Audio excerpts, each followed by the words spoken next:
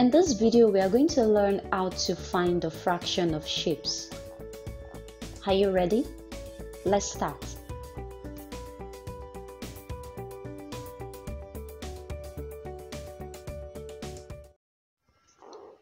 This is divided into two parts. One, two. So I write down two. How many parts are shaded? Just one. So the shaded part becomes 1 over my 2. So this is 1 out of 2 parts. It's shaded. This is how to interpret it. Let's try another one.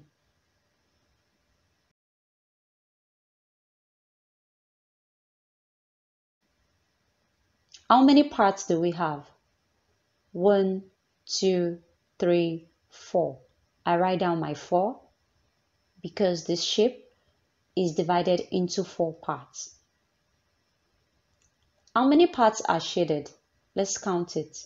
One, two.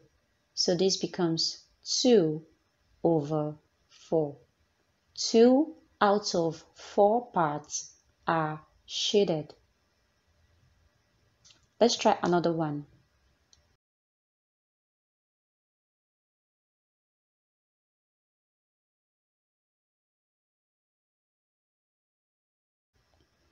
How many parts do we have here?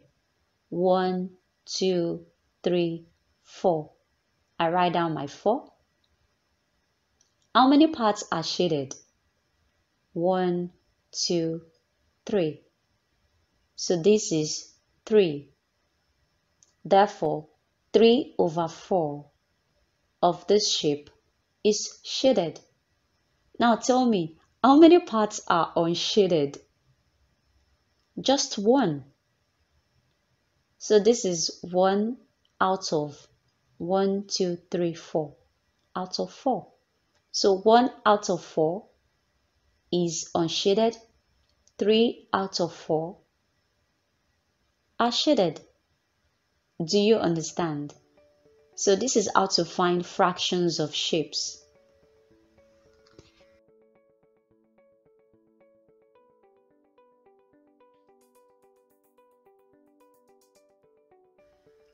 The first thing is to do what? We find the total parts, the number of parts. We find number of parts. One, two, three, four, five. Over. How many parts are shaded? One, two. Therefore, two out of five parts are shaded.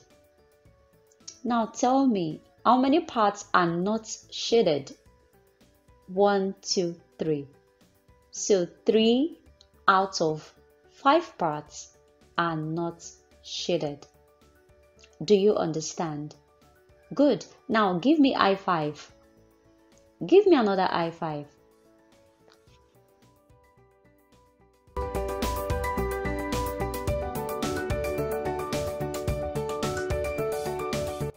Question time. I need you to try the questions that will be showing on your screen. I want you to try every single question. Calm down and solve them, okay? Once you're done, you can then proceed to watch the video solution to check your answers. Okay? Good.